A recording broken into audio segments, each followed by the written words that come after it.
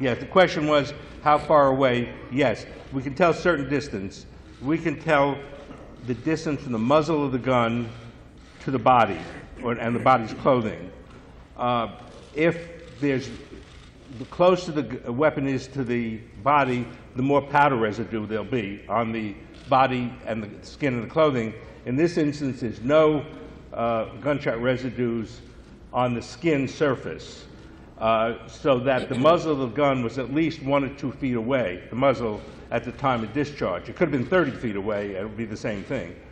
But in order to be firm about that, we also have to look at the clothing, which we haven't had the opportunity to look at because sometimes the clothing can filter out gunshot residues.